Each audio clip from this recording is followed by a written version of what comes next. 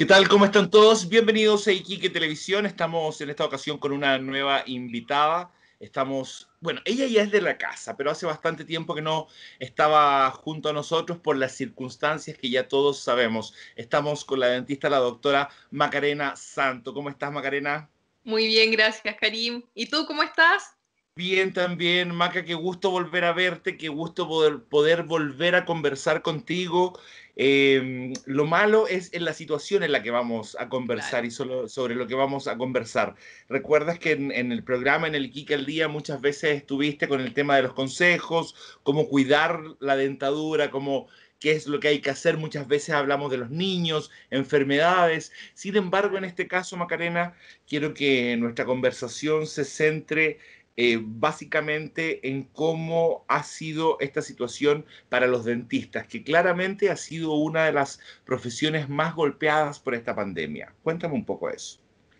A ver, eh, la odontología viene de un periodo en que ha sido complejo, ya eh, en general los chicos que se están recién titulados salen con deudas grandes por los créditos lo que uno paga en el dentista, porque la odontología en Chile es súper cara, lo que uno paga en el dentista, de eso sale el sueldo de la asistente, de la secretaria, los materiales, el fondo, eh, pagar crédito, el fondo, la ganancia que tiene el dentista no es mucha, y eso sumado a que los megaprestadores le pagan un 20% de lo que se paga al dentista y de ahí salen muchas veces los materiales. Entonces, eh, la odontología no es un trabajo que te permita muchas veces vivir bien, como es lo que se hacía, lo que pasaba antes, los dentistas ya viejitos, em, o como cree la gente. Entonces, eh, pasamos por un periodo de estallido social fuerte, donde no se podía atender mucho porque la gente le daba un poco de susto salir, em, porque evitaba hacer cosas que no fueran necesarias. Y, y, se suma a esto la pandemia. Eh, la odontología nosotros trabajamos en vía aérea, trabajamos con saliva, que es la fuente de contagio. Entonces, en un comienzo fue necesario detenerse para poder estudiar bien cómo, cómo enfrentarse a esto. Mm. Em, nosotros, cuando, bueno, yo, yo me especialicé en imagenología, yo no hago atención en clínica, solo veo radiografías y escáner, eso es lo que yo diagnostico. Pero cuando se trabaja en boca, uno genera aerosol. Cuando te pasa la turbina, la maquinita, salta, eh, se genera un aerosol invisible con la saliva, con las bacterias, con los materiales. Entonces, en general, los odontólogos nosotros sabemos trabajar con esto, nosotros sabemos evitar el contagio con bacterias. ¿ya? Entonces, claro, ahora la enfermedad es más compleja y se necesitan más elementos de protección personal. ¿Esto de alguna forma encarece los procedimientos? Eh, encarece mucho.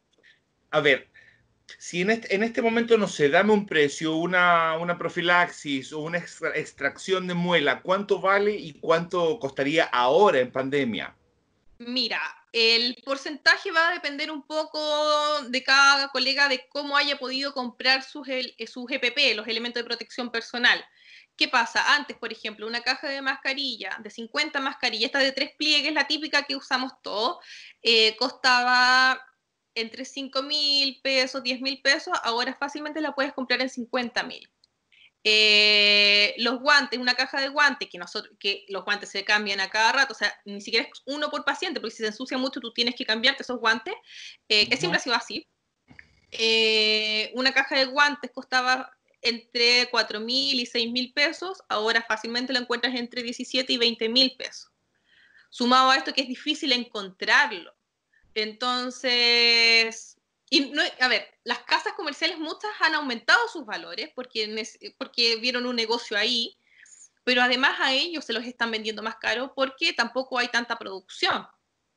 Entonces, ahora ya están volviendo, yo he visto que un poco bajan. Entonces, ahora, ¿cuánto le va a sumar cada dentista o cada clínica a su tratamiento? Va a depender mucho de en cuánto lo haya encontrado el EPP, eh, además, los tiempos sillón, nosotros tenemos que sumar eh, el, tiempo que un paciente está en sillón, eso también tiene un valor.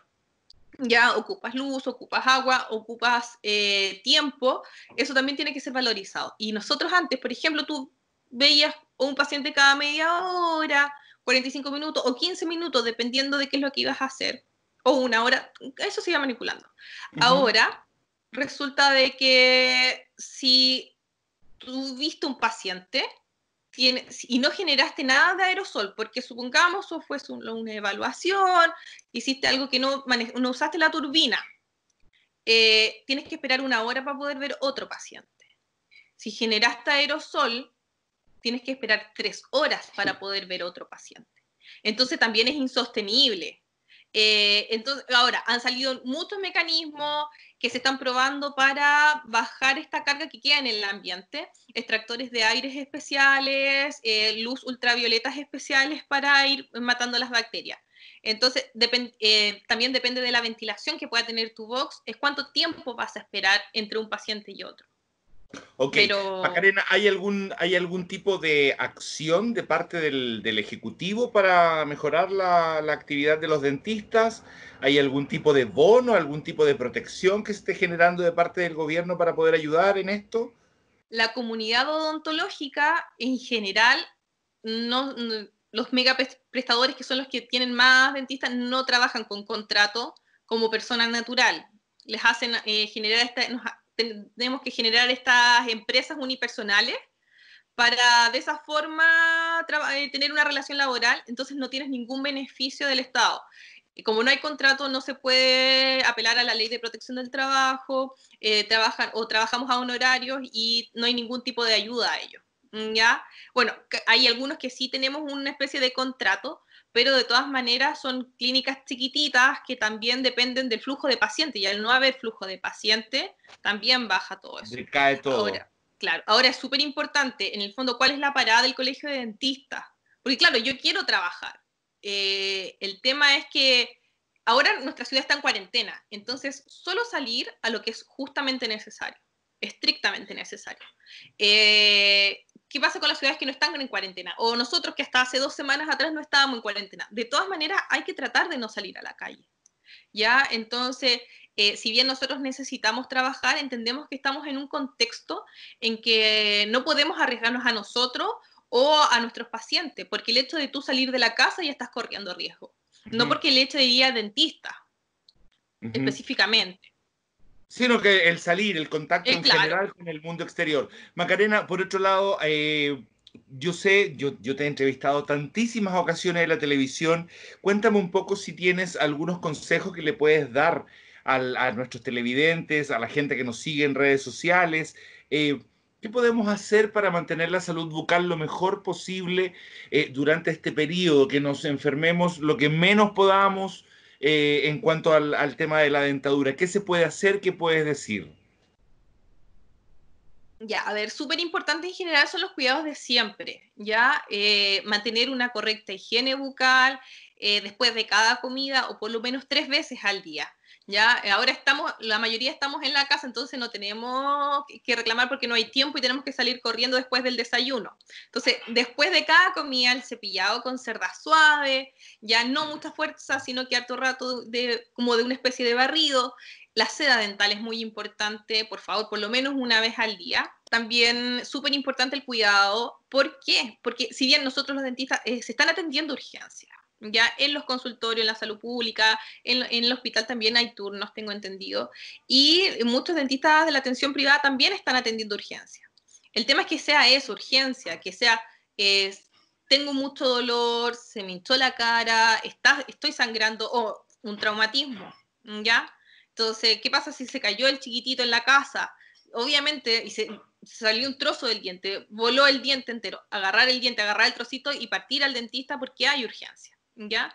Y súper importante también, en caso de tener que ir al dentista, que el mismo paciente vea también, sea un poco fiscalizador. O sea, tú tienes que ver que el dentista está usando los EPP que se necesitan, está viendo paciente alrededor de una hora por paciente, porque eso es lo que se demora. Es, eh, elemento de protección. Exacto. Y tiene que ser que, se vea que higieniza, que se higieniza la zona. Algunos, eh, por ejemplo, antes atendían dos dentistas, en, uno en cada box. Ahora lo que están haciendo mucho es que, por ejemplo, hay un dentista nomás atendiendo. Entonces, mientras se higieniza un box, atienden el otro. Ya entonces eso permitiría un poco aumentar el flujo de pacientes. Pero si tú ves que salió el paciente y entraste al tiro ahí, eh, algo raro hay, ¿ya? Es súper importante que el mismo paciente fiscalice. O sea, si tú ves que tu paciente está vestido de astronauta, bien.